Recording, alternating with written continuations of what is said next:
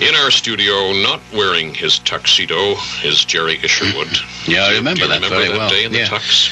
Yes, it was. Uh, it was a new cigarette, Ambassador, I think it was. Really? And I was the I, I was the ambassador. That's why we we we borrowed the car, That was back in the days, Gerry, when we were allowed to advertise for Yes. cigarettes. and we had my our old friend Bobby Brown uh, done up as the uh, as the page. He's featured in many of the schemes I've pulled up.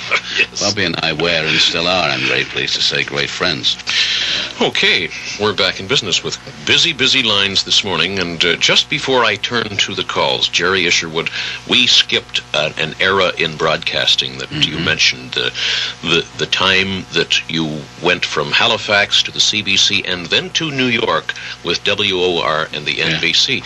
Some of the highlights of your NBC days. You were doing the Merv Griffin show, weren't you? Yeah, the afternoon version of uh, uh, Merv was totally, well, no, I wouldn't say totally unknown. He'd been a game show host, you know, like so many of them were. And he got his first afternoon show on NBC, and I just happened to be in the area at the time when talk was all big. You can rec- maybe recall in the 60s that talk for a while was the king. Yes, in fact, yes. WOR was the talk station. And I did the all night, the long John Nebel show. He's dead now, unfortunately. It was the only all night talk show in the world at the time. We had ticker machines in the studio and people could send in questions and comments. It was a remarkable show, and he was a very remarkable man. So I was working for Goodson Todman and uh, doing panel shows for them.